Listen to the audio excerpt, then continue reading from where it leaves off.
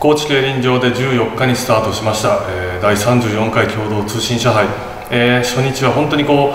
う密度の濃い、えー、内容のあるレースが多く見られたなという感じがしました。やはりこう新鋭若手選手が、えー、切符よく激しく先手をこう取りに行くレース、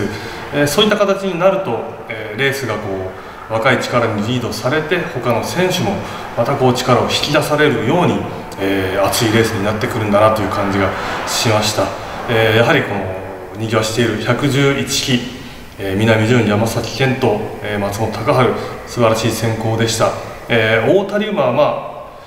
本当に13秒7という素晴らしい快速まくりを決めておって、えー、まあ吉田拓也は勝ち上がりは決めてるんですけれども、えー、いいレースをしたけど、えー、新山恭平はちょっと勝ち上がりを逃した、えー、少しそういった残念なところもあるんですけれどもこういったこう若手先行選手たちが、えー、一気にこう競輪界をまた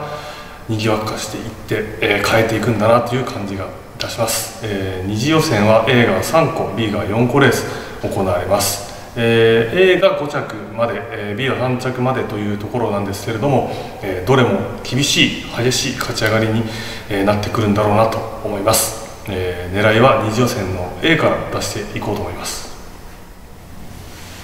二次予選 A11 レースから狙います。並びは1番2番松浦裕二渡辺哲夫。9番3番古生優作三谷隆樹5番6番山田秀明佐々木紀之。4番7番8番和田まくる郡司公平桐山慶太郎となります、えー、まず、まあ、松浦裕二に渡辺哲夫と、まあ、佐々木紀之。最初は渡辺哲夫がもう自分は3番手でもいいからということでこう佐々木紀之に進めていたんですけれども、えー、佐々木もうん点数も違うしということで、えー、悩んでいました、まあ、その中で山田秀明が1人ということもありえーまあ、みんなにチャンスが生まれる形ということを考えて、えー、1番2番また5番6番ということで分かれることになりました、えー、山田としてはまあ短期でも、えー、基本的には問題はなかったんでしょうがこうして地元の佐々木紀之がつくということで、えー、よりこう気持ちを高ぶらせておりました、えー、もちろんこの神奈川の並び、えーまあ、和田が、まあ、番手まくりまでは郡司は、えー、意識はしないと思いますが和田はやはり先手を取りに行く、えー、故障も三谷に任されて、えー、強気に攻めていく。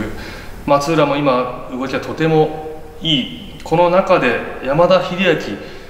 ある意味ではちょっとノーマークで走れるんじゃないかという感じがいたします、えー、一次予選のように行っていって丁寧にこう勝てるようにレース運びをする山田ですけれどもここはあまりそう自分で手を打つというよりは周りのラインが動くことでえ山田に流れが向くんじゃないかなと思います、え山田秀明の1着から、えー、全然、えこれで、え高配当を狙います。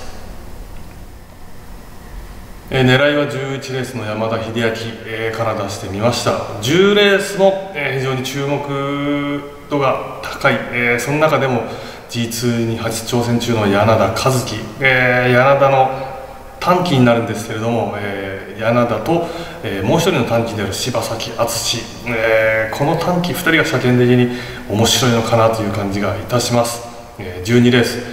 浅井浩太スピードではやはり1番なんですけれども太田龍馬の番手で、えー、清水宏斗が、えー、チャンスをものにするかなという感じがいたします、えー、まあ浅井も最後は伸びてきて5着までは確保するだろうとは思うんですけれども、えー、清水宏斗が番手有利に1着というところも狙ってみてはいいのかなと思います。